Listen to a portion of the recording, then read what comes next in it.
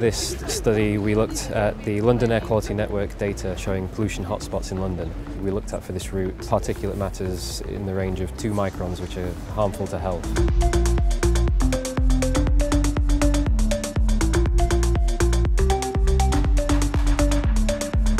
In the big balloon at the very front of the car, we've put in a lot of fine black dust to show how dirty the air can be.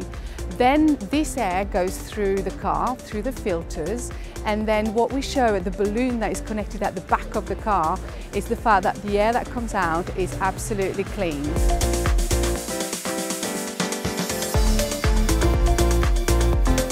You have to think about Nexo very much as an air purifier on wheels. If you imagine that you follow two cars, petrol or diesel engine, it cleans up 99.9% .9 of their pollutants.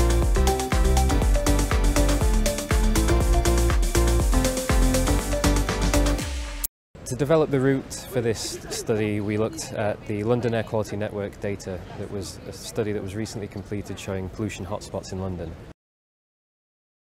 One particular area that was quite shocking was Marylebone Road, which um, exceeds the EU limits uh, quite significantly. Um, so this is an area that we, we looked at for this route, uh, for such as particulate matters in the range of 2 microns, which are harmful to health. Uh, these far exceed the EU guidelines. Fuel cell technologies have the potential to help in this area because they, they have no emissions at the point of use.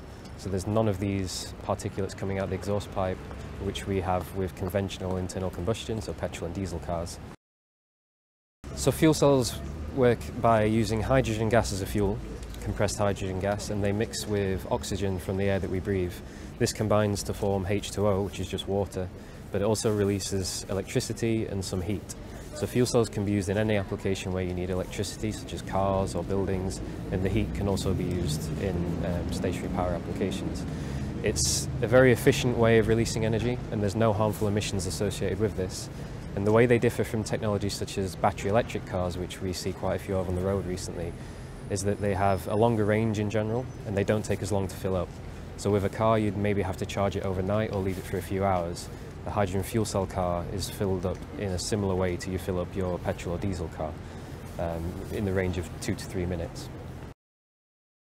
Nexo is a fuel cell car that runs on hydrogen. So what it does, it produces its own electricity. So the hydrogen and the oxygen mix in the fuel cell stack. That produces electricity that helps run the car basically.